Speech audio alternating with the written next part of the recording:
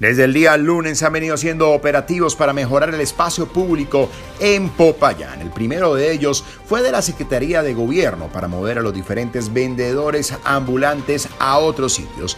Ahora, la Secretaría de Tránsito con sus agentes y reguladores no permiten mal parqueados en las calles de nuestro sector histórico. Esto ha originado que tengamos un centro más amigable y que las personas puedan transitar libremente por nuestra ciudad blanca.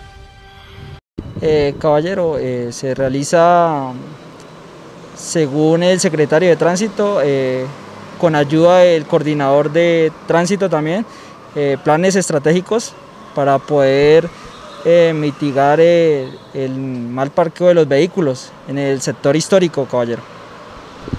¿Qué dicen las personas cuando ustedes les hacen el llamado de que no se puede parquear aquí? Como todo, eh, en la ciudadanía vamos a encontrar personas que apoyan nuestra labor y personas que no están de acuerdo con la labor que hacemos cada día. Pero en su totalidad, o la mayor parte, están contentas y satisfechas con la labor que realizamos día a día. ¿El impacto que ha causado estos operativos de despeje de las vías en la ciudad? Es impresionante, caballero.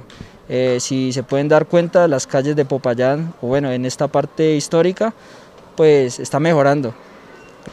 Eh, nosotros llegamos hacia el vehículo que se encuentra estacionado, le hacemos la debida recomendación, eh, damos un tiempo, un tiempo prudente para que la persona se retire y de lo contrario eh, se realiza hacer el debido comparendo.